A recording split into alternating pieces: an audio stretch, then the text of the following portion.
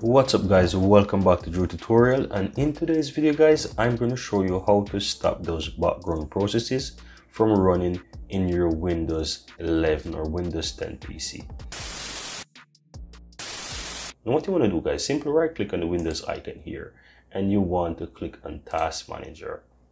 And you can also access this by simply do a Control Alt Delete and you will be able to see the task manager from the options here that you can simply click and you can run it right? So you can easily do that. And you can also do that from your run command. So if you simply go to run you will have the run command here and you can simply go ahead and you can run the task manager from here as well right? Very easy very simple. But you can easily access it by simply go ahead and click on task manager here right? Now once you're inside the task manager guys the first option that will be selected by default is your processes. I'm going to make this very large so that you can see all the things.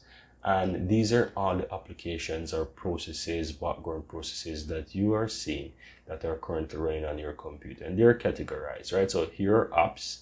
And as you can see, I have a few applications running. And if I want to end one of these, I can simply go ahead and right click on it and end that task, right? I'm going to simply open up another task. Let's say I want to open up, um, let's choose, let's choose Brave, for example, right? So let's say I want to run the Brave application here or the Brave browser, let's say. You can see right now in the task here that Brave is running and I can simply close this by simply right click on the task and end that task, right? Or I can simply end the task from here by make sure that I select it and I can click the end task here on the upper right hand side. So I'm going to click the end task here and you see immediately that the Brave browser is now closed, right? It is no longer open. And that's how you easily end a task. Now guys, for background processes, it's the same. You can end whatever background processes you don't use.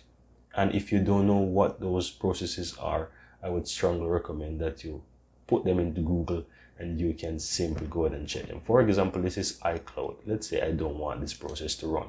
I can simply right click on it and I can end that task or I can simply do it from the top right hand side. And now this time I will end it from here by simply end the task. And you will see right here that the iCloud is now closed. And that's how you go ahead and close whatever task. Also, there is Edge. I can end this task for Microsoft Edge as well. If I no longer use it, I can do the same for Microsoft Teams. So you name it guys, there's a lot of processes that are currently running on your computer that you can easily end those tasks if you no longer need them to run as well on your computer, right? All of these processes that you're not using these help to slow your computer and by ending these tasks, you put your computer at a better health and speed so that it can be faster. Now guys, I really hope that you found this tutorial very helpful and if you do, go ahead and give this video a like and share your comments below. I'd really appreciate that. And if you're seeing the channel for the first time, welcome to Drew Tutorial. I'm Anjo and I really appreciate if you hit the subscribe button below to help grow this community and also so that you'll never miss out when I release another helpful tutorial just like this one. Thank you very much and see you next time.